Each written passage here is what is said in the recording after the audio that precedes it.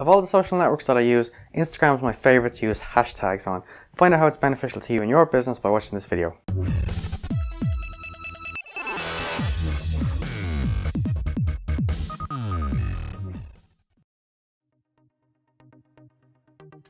Hello and welcome to the Income Highway. This is a show where we talk all about how to build and grow your online business.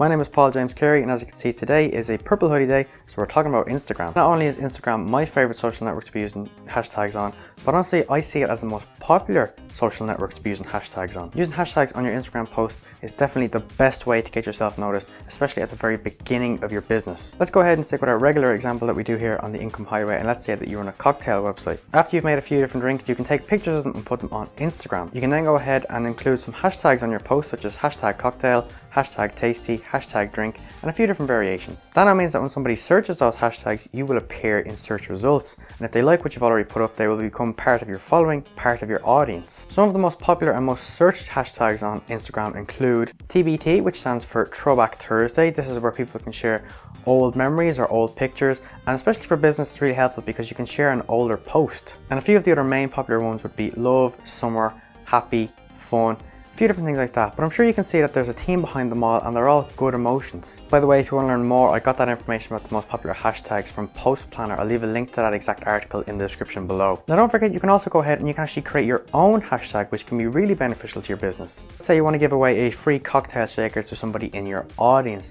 You should then go ahead and get them to make their favorite cocktail, take a picture, put it on Instagram, and then include the hashtag that you've made, where it could be something very simple like cocktail comp. Because it's only your audience that are using using that particular hashtag, once you search it, you'll be able to see all the entries for your competition. Now that's also a fantastic way so you can see how many people are actually interested in your competition, how many people are actually going ahead and submitting entries. And over time, as your business grows, you can even use your own brand as a hashtag. So for example, hashtag the income highway is something that I'm hoping in the future a lot of people will use on many posts. And obviously nobody else is using that hashtag except for me and my audience. So anytime I search hashtag the income highway, I can see it's either from my audience or something that I've posted myself recently. A quick example of where this has already worked, look at the hashtag AskGaryV. This is what Gary Vaynerchuk is using so his audience can actually ask him questions that they want answered on the show. However, you do need to find the balance for your hashtags.